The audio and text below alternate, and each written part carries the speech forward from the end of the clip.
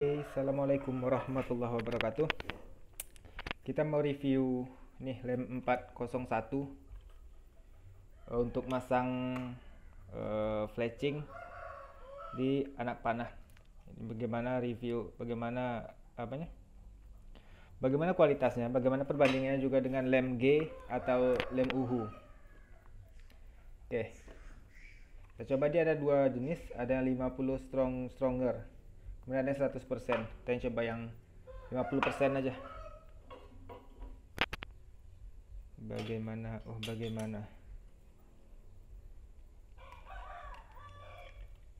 Ini saya juga baru peta, uh, baru baru apa ya? Baru-baru menggunakan lah. Sebelumnya saya pakai lem G aja atau lem uhu. Kali ini mau coba mau coba lem 401 harganya memang lebih mahal di pasaran harganya eh, uh, 25.000 oke kita lihat.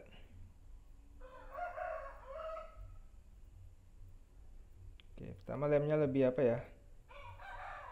Lemnya kental tidak seperti lem G yang yang kering eh, yang cair. Dan mudah pengaplikasiannya. Oke kita tunggu beberapa detik kalau seperti lem G itu lebih rentan e, meluber ke mana-mana kena bulu bahaya. Tapi kalau lem 401 ini pertama dia kental. Dan bisa apa tidak meleleh tidak meluber ke mana-mana dia kalau kalau dalam pemasangan. Oke kita tunggu beberapa detik lagi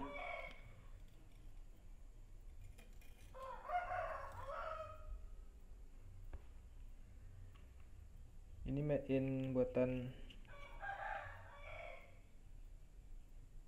buatan mana ya? Nggak ada apanya. Tapi dari tulisan uh, hurufnya ini huruf kanji Korea.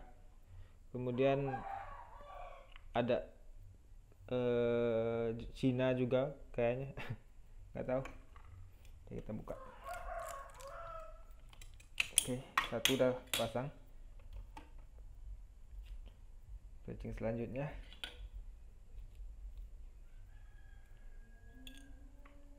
Kita bisa langsung pasang ke sini jadi insya Allah nggak nggak meluber kayak lem apa kayak lem G. Jadi bisa dioles ke tulang bulu secara langsung kayak gini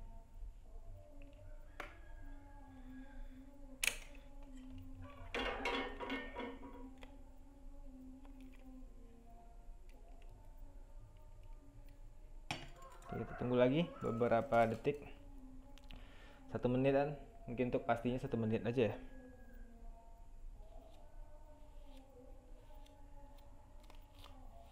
Ini saya pakai bulu kalkun lokal primer. Tetap lebih tebal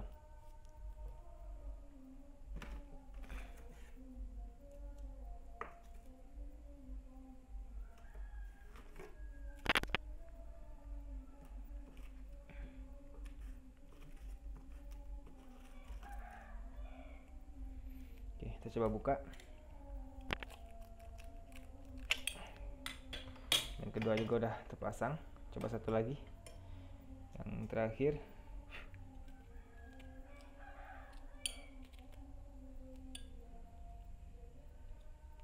Kurang bagus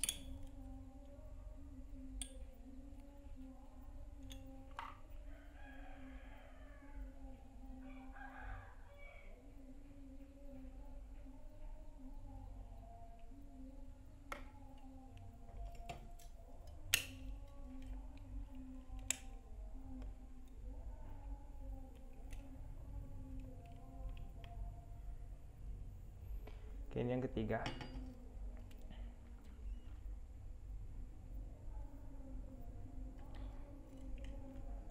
Ini lemnya kental seperti lem uhu, tapi lebih cepat kering. Kalau lem uhu agak lama, butuh kesabaran ekstra.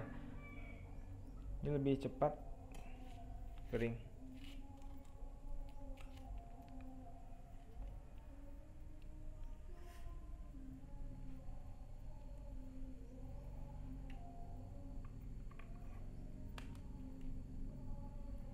Ini saya beli kemarin yang 100% strong stronger. Ini 50% ya. Saya nggak tahu juga perbandingan kekuatannya gimana. Yang 50% saja insya Allah udah udah cukup kuat. Ya kita buka. Oke. Oke ini hasilnya cukup presisi dan apa ya? Lumayan kokoh sih. Ini beberapa tadi yang udah pasti yang sangat kering. Bisa kita lihat. Cukup uh, sangat-sangat kokoh. Jadi sangat recommended lah kalau untuk pemasangan patching menggunakan lem ini lem 401 dibandingkan uh, lem G atau lem UHU. Tapi juga harganya juga lebih uh, mahal ya harga sesuai kualitas tapi bagus. Alhamdulillah. Oke sekian. Assalamualaikum